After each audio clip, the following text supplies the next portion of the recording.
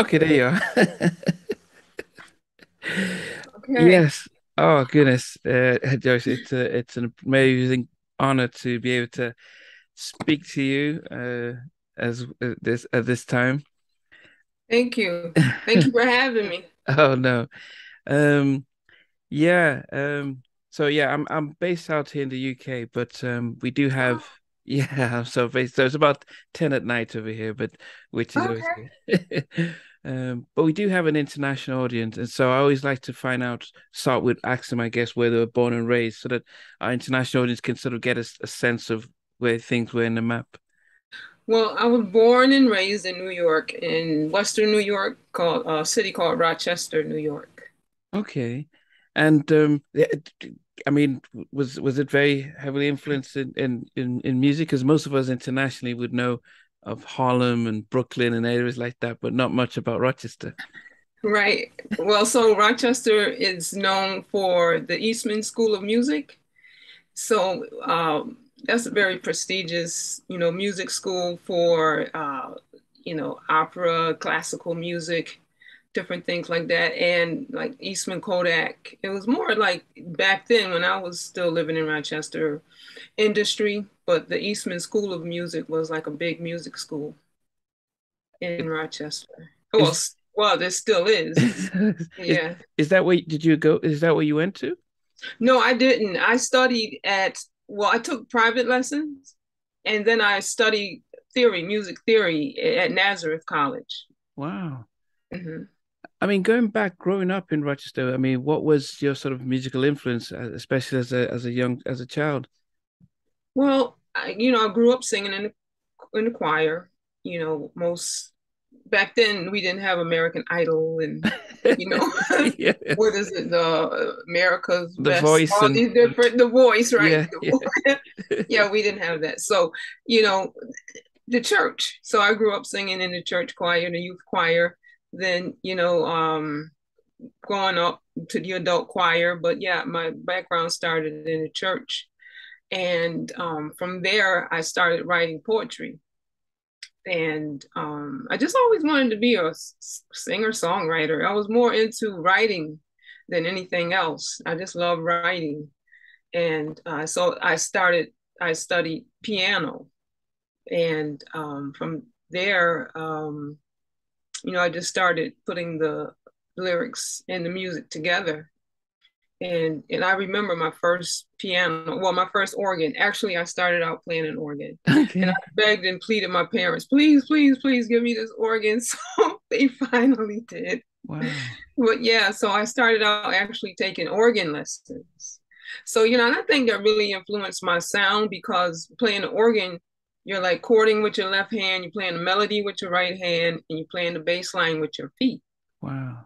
Yeah, so my coordination had to be really there.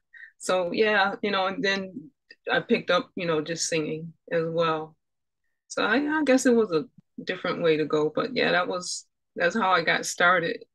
Who who who was around that you were influenced by? I mean, Well, so as I grew older, you know, the Jackson Five was a big influence on me. oh, Um, Chaka Khan, as I, you know, grew older, and and uh, um, Stevie Wonder.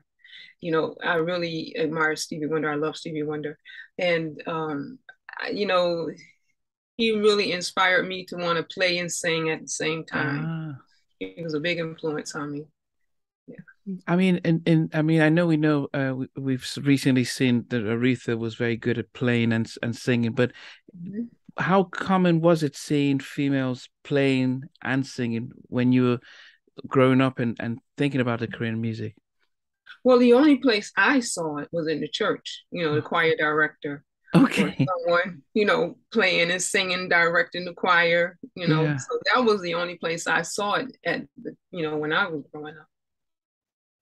But, but then you, you but it was still you went uh, uh, you didn't think okay you know I know Stevie does it and Ray Charles but okay you know uh, I mean now we see Alicia Keys and we and it doesn't Oh seem yeah, as but back in those days yeah. we, it was Stevie and Ray but not as hmm and a few others but it wasn't that prevalent so you didn't think it might seem odd playing and singing Oh no, I, okay, as we have a thunderstorm rumbling oh, okay. through. you hear that? yes, it did. Yeah.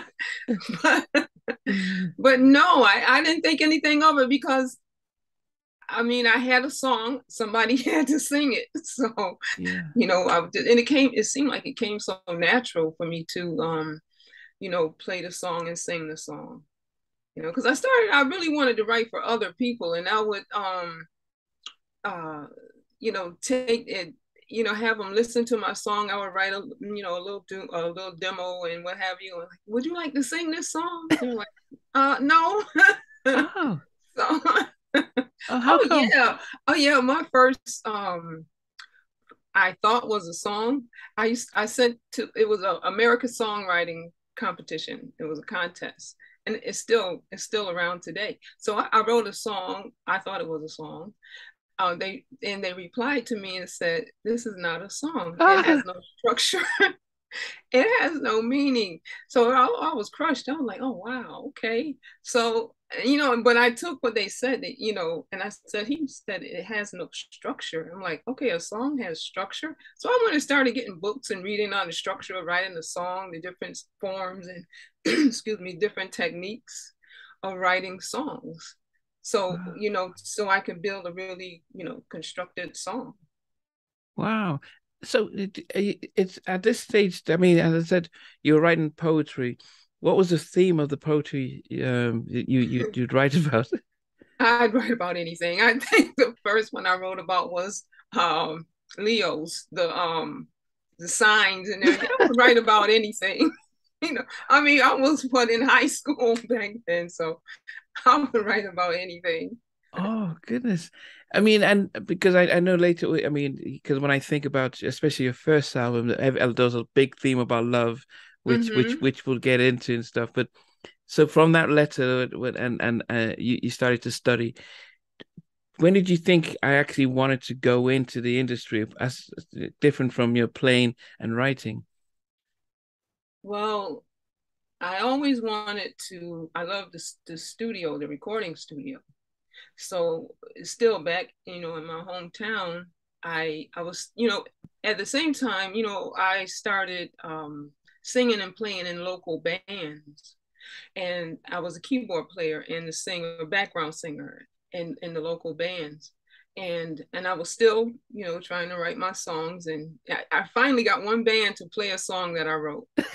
and so, so I wanted to record it and so I you know, again went to my family, please, can you give me some money? I want to go to the recording studio.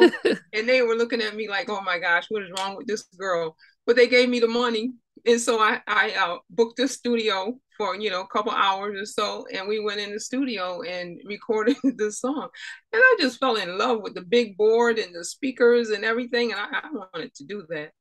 So, you know, that's where um, you know my love for just creating music and being you know in in the i guess the beginning stages of a song just you know that's my first love of just being in the studio creating yeah you know it you know for, for us as music fans who have no music talent when we see the recording engineer with a massive board with switches we wonder how does it make sense but when you mm-hmm. got in you just felt like wow this feels like a place where you'd want to spend time and yeah. It, i felt like i belonged there but i had no clue what he was doing. Okay. So so i would just sit and i and i would watch and i would just watch and and, and i would ask questions but back then it was like you don't touch the board you don't do anything to the board you just sing your part and you go back over and sit in your corner or wherever and let the engineer do his thing. But I would just sit there and watch everything he did, everything, and I would listen to what they were saying. And that's how I learned a lot, just you know, being in the studio, being in the atmosphere. I remember watching um, an interview with Berry Gordy, and he said that that was what Michael Jackson was like when mm. everyone else was playing. He was just in the studio, just listening and watching and yeah. and learning and stuff. Yeah, you learn a lot that way. You pick up a lot, you know, and having some idea of the way things work if you hear it and you see the engineer applying it to whatever you're working on, then you go back home and try it, it makes more sense. Wow. You know what? What strikes me is is how because you talked about getting um, getting your parents to get you a, a, piano and then getting you paying helping you pay for your recording set for all this time it's were they really supportive of yeah you know we feel, we know our daughter has a gift or what was it like was it as straightforward as that well my parents i love them dearly. They were just so supportive. Whatever we did they just supported us. Wow. you know it's five of us. And they as long as we stayed out of trouble they supported us. Wow. so they supported everything we did that was constructive. So that wasn't an issue but it had to make sense. You know if if you know, I couldn't ask for some craziness, and they knew I wouldn't um, keep up with it or or you know follow through with what I promised. But I kept, I promise. I'm like, I promise you, I'm gonna write a song. You're gonna love it. I promise you. You gotta listen. oh my, they were so sweet. I re- I remember my mom. She would be so tired coming home because we we our family owned a soul food restaurant in Rochester, New York. Wow and she would be so tired when she came in at night and um and I was like, Mom, listen to this new song I just wrote. and she's like, All right, baby, let me hear it. So I'm just playing my little, it was a cassette tape, right? and I'm just playing my little song and so excited my mom was gonna listen to my music. And I looked over, mom was asleep. I was like, Oh my gosh. but you know, she supported me. My mom and dad, they supported me.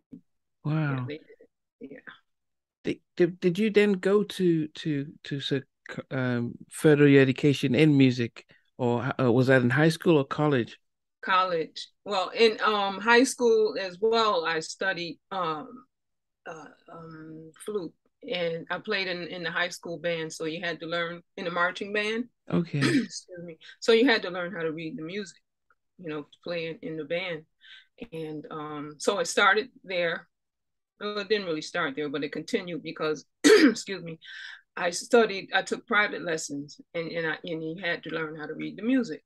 So from there, I went to college and then I studied the theory of music. Wow. Yeah. So it continued. And, and it, did you get the chance then when you're studying the theory of music to study engineering as well, or is it just mainly the, the, the... Yeah, it was just a theory. It was just a theory of music. But once I um, started traveling back and forth to New York and working in the big studios with um, engineers, that's when I really started um, learning about the boards and, and the different things, you know, how to run the board. Again, they wouldn't let you touch the board, but you're sitting in the room. you're sitting in the room and I'm just absorbing everything. Wow. I mean, so I, I mean, when you're in college, did you then think I actually want to be a recording artist, or did, what? What was your what was on your horizon, your vision? my vision was to be a songwriter. Oh, just oh, yeah, to be the songwriter. You have to write songs, and and to see my thing was I just wanted to be in the recording studio. That was still just my thing. Just want to write songs and be in the recording studio. Yeah. You know, uh-huh. and I, you know, and I love to travel, so I figured, okay, I can write songs and travel. So you know that at that time, that's what I'm thinking. You know, did, did, in, in, in did they teach you as well um in college the the understanding how songwriters get paid and all the all those nits and cracks? No. Uh, no no that's a totally different thing. That's like the business of music. Okay. I, I, yeah that's the business of music. Um the theory is just really it the theory of music how to you know how uh, you would build a song or a sound. Yeah. You know how the you know the circle of fifths and the chord progressions and, and the staffs and different things like that. You're actually studying about the music. Okay.